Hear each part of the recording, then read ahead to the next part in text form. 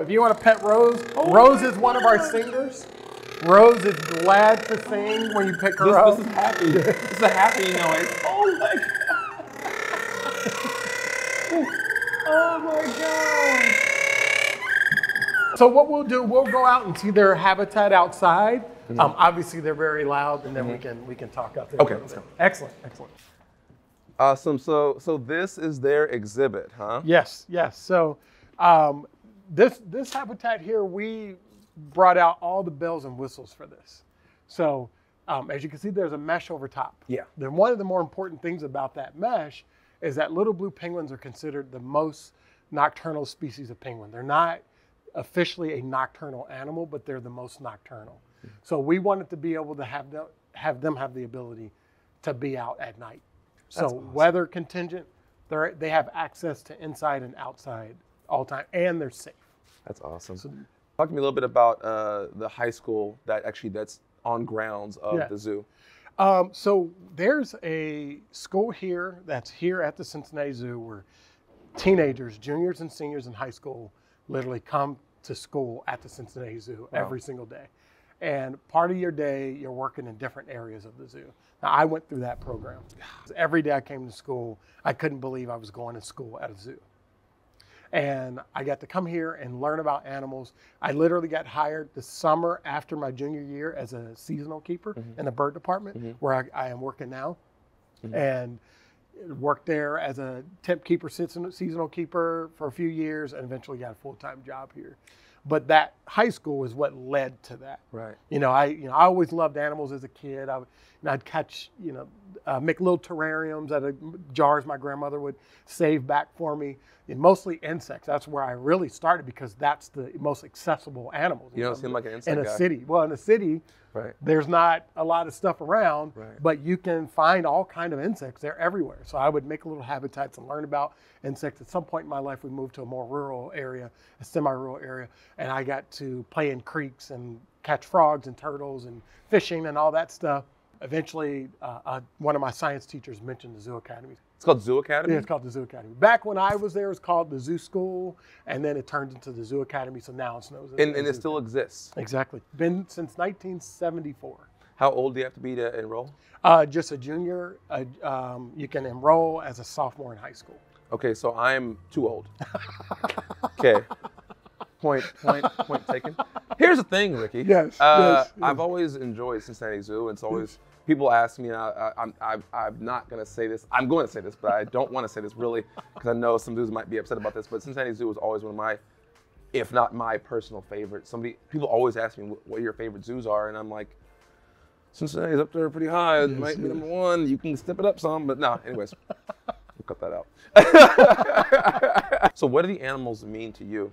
You know, you have a natural connection with the animals, right? So there's a relationship that I think a lot of humans, some of us that care for animals, that you build with caring for another living thing, right? So, um, and you realize that unlike some jobs, there's a requirement of dedication that you have to have to be in this field because there are living things that are depending on you for their uh, best care, for their comfort, for giving them enrichment, for um, their training, their mental stimulation. And we are re- responsible to learn how to do that the best way possible. But you know, there's um, a team of people that are dependent on you, and there's animals that, that are dependent on you.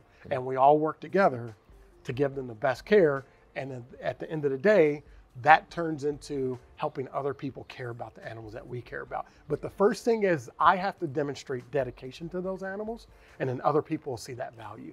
So I can say all kinds of things, but am I demonstrating that dedication? Mm. And so people notice it. People notice when you seem happy about what you're doing or if you're excited about it. Even on your bad days, you, you're excited and you still find the energy to kind of work hard at doing what you do. And I find it fun. It's like they say, you know, you find something you love, you never work a day in your Right. life. It, it- I mean, Yeah. those of us in zookeeping. Literally, literally I mean, well, We there, are, there are those days that we're just like, oh my God, why am I here? But one of my big things is animal training. Yeah. And I believe if I have to go, okay, from when I first started training dogs and training penguins, what would I say moving forward has been the most kind of impactful kind of concept is mm-hmm. that animal training basically it's like a lifestyle. And it's way more than just animal training because every time you interact, these are one of the core values of animal training. Every time you interact with an animal, you're training them in some way. Mm-hmm. So you should be proactive about your interactions. Mm-hmm. Because, for example, one, one thing I oftentimes talk about, you ever go into like a store and you hold the door for someone and they don't say thank you? Yes. that that's training me to not hold the door for open for anybody else. Everyone. Now, the people Or who don't. shut in their face. Exactly. Right. Like, oh, oh, I held the door. No, what I do is I grab them back and throw them back outside, and close the door, and keep walking. Now, what I always point out that- is that the people who don't say thank you, they're probably not thinking that they just punished you for doing something good. Mhm.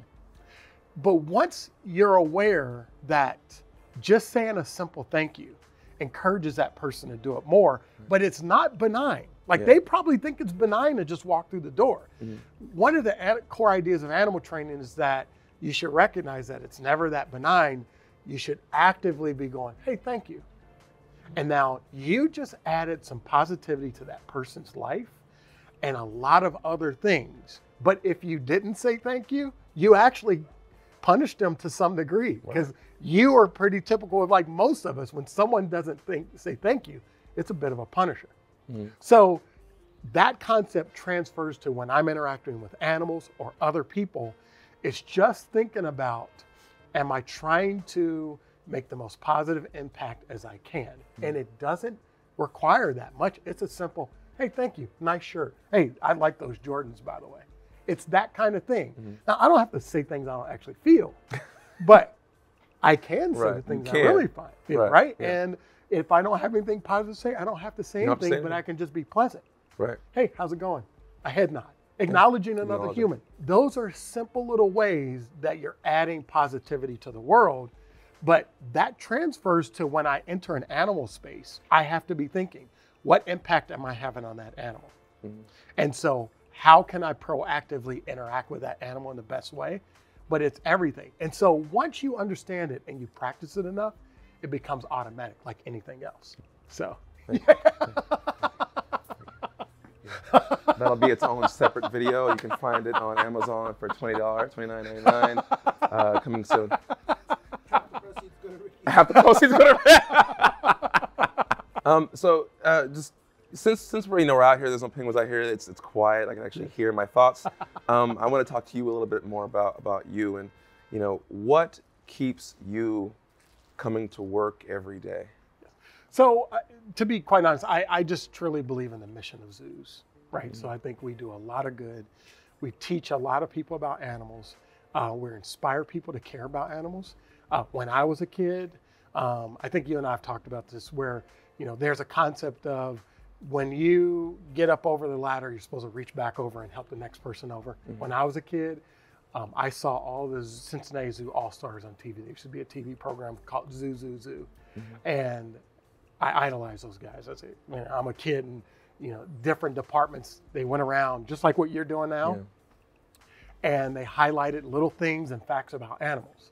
And as a kid, as Cincinnati born and raised, it seemed like impossible that I would be able to one day be working at the Cincinnati Zoo. And you know, I ended up going to the high school here, and then eventually got my job here. But I just always believed in um, doing the best we could to teach people about the natural world and animals. I've always, and I'm fascinated by animals. I mean, all animals are super interesting to me, and so um, it's just I, I have fun every day.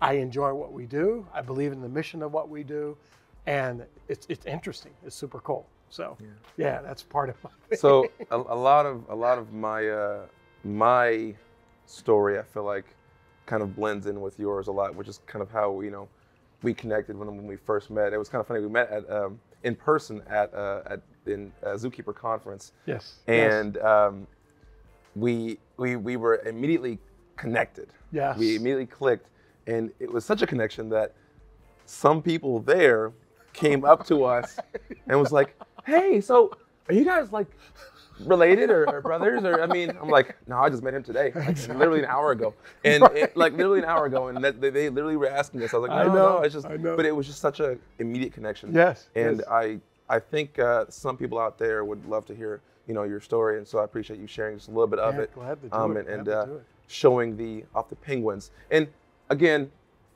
he loves his job so much that he's here on his day off. He came in to come talk to me about about how much he loves the hippo or hippos. This is, I guess, the Cincinnati Zoo. Immediately, hippos on my head. So in my head, we're talking about penguins today. Okay, no hippos. I'm done. Well, Rickey, thank you Hey, so yeah, much. No. I gotta Yeah, get the hug yeah, get the hug in. definitely, Thank you so much, and uh, I'm sure I'll be back some point. Absolutely, right. absolutely. See ya. Anytime. Yeah.